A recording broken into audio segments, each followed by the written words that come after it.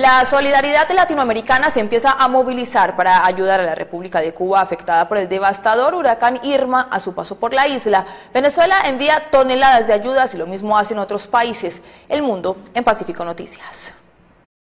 Tras el paso del devastador huracán Irma por Cuba, la nación caribeña cuenta hoy con la solidaridad y el apoyo de varios países del mundo, así como la disposición de estos al envío de ayuda. El presidente de la República Bolivariana de Venezuela, Nicolás Maduro, dio instrucciones a los organismos e instituciones del Estado venezolano para activar un plan de ayuda y atención para las diferentes islas caribeñas que se vieron afectadas por el huracán Irma.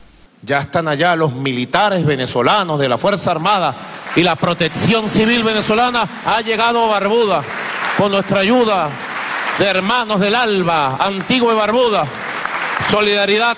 Hemos venido para acá con ayuda humanitaria que consta de colchones, comida enlatada, agua y demás enseres que van a ser de bastante utilidad y esperamos que sea utilidad para el pueblo cubano.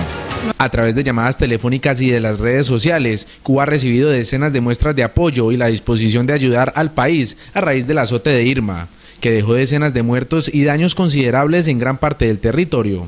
Lenin Moreno, presidente de Ecuador, y Salvador Sánchez, presidente de El Salvador, a través de las redes sociales también mostraron su solidaridad y apoyo a la República de Cuba. Listos para enviar ayuda a los hermanos cubanos. Esperamos nos indiquen sus necesidades. Es el momento para demostrar nuestra solidaridad.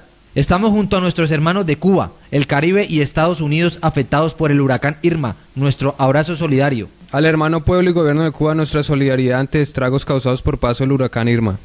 Mandatarios de países como Rusia, Japón, Vietnam, Serbia, Turquía, entre otros, también expresaron su apoyo y solidaridad a Cuba, asegurando que estarán dispuestos a atender las necesidades que tengan estas y las demás islas caribeñas que afectó el paso del devastador huracán Irma.